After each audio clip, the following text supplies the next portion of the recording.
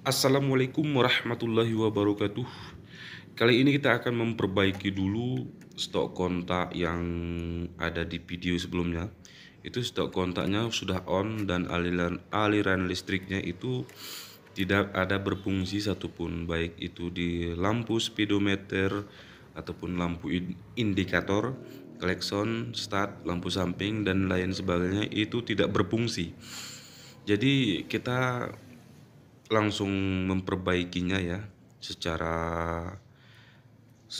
kemarin itu kan secara simple sekarang kita langsung secara permanen untuk memperbaikinya. Dan ter yang paling utama itu kita buka-buka dulu kap-kapnya ya dan lain sebagainya. Kemudian kita lanjutkan untuk uh, mengecek dan membersihkannya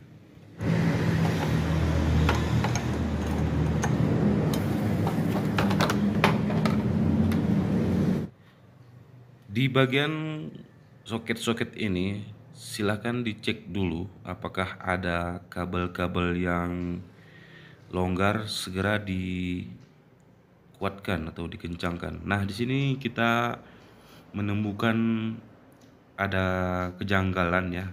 Kemarin itu memang kita pakai klakson yang mobil mau klakson mobil yang klakson keong. Jadi ini sudah dirakit kelistrikannya. Jadi kita kembalikan ke awal ya.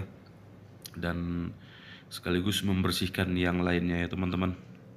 Bagi teman-teman motornya mungkin tidak ada di modif kabelnya itu silahkan dibersihkan uh, tentang soketnya ini ya. Itu dibersihkan dirapikan dan di sini banyak ada kotoran-kotoran debu sehingga mengganggu aliran listrik dan mengakibatkan uh, kunci kontak itu on dan aliran listrik tidak ada. Itu segera dibersihkan.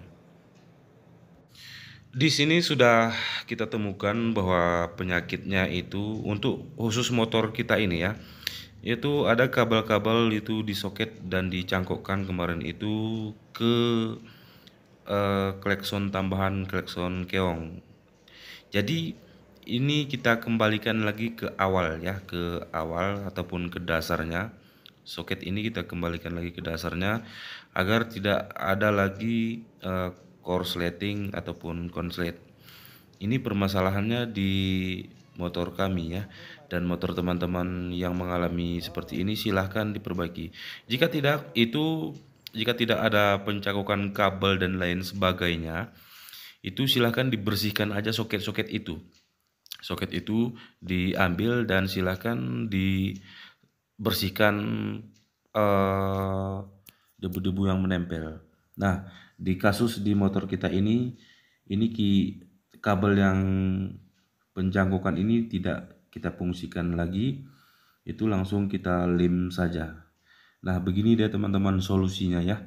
Bagi ada kendaraan teman-teman ataupun tidak hanya di Supra, di Repo, Karisma, dan lain sebagainya. Jika ada permasalahan seperti ini, silahkan teman-teman uh, ikuti saja apa yang sudah kita jelaskan dari tadi ya tentang membersihkan dan mengecek kabel-kabelnya. Baiklah, proses perbaikan sudah selesai. Kita akan mencoba menghidupkan stok kontak ataupun kunci uh, motor ini. Nah, ini dia sudah stabil ya teman-teman. Sudah hidup dan sudah bisa di uh, starter. Klakson starter lampu samping dan lain sebagainya itu sudah bisa aktif. Dan termasuk juga di engkol. Baiklah teman-teman video kali ini kita cukupkan sampai di sini dan kami akhiri. Assalamualaikum warahmatullahi wabarakatuh